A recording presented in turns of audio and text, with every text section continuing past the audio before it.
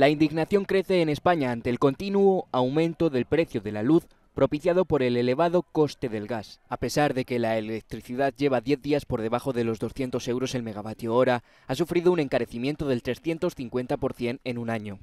No dejan de sucederse manifestaciones como esta última en Barcelona, en la que los ciudadanos han salido bajo el lema Paremos la estafa de la luz. Nos sentimos estafados, estafados, porque al final resulta que el problema de las eléctricas es que no tienen empatía con la ciudadanía y nosotros pensamos que es que nos están robando literalmente. Tiene que haber un control y desde luego lo que no podemos hacer es que esté, esté los servicios básicos a manos del capitalismo tiene que estar más, eh, tiene que haber un control más directo del, del gobierno.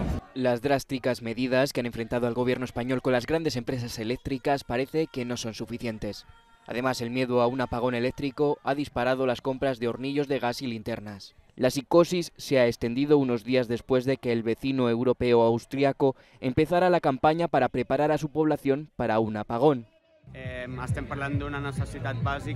Estamos hablando de necesidades básicas. La necesitamos para la higiene y la alimentación. Y es increíble que el oligopolio de las empresas eléctricas controle el mercado de esta manera. Empresas energéticas como Enagas o Red Eléctrica Española han pedido calma a la población. Señalan que en España es complicado que se dé un apagón, porque el país cuenta con un almacenamiento de gas suficiente para 40 días.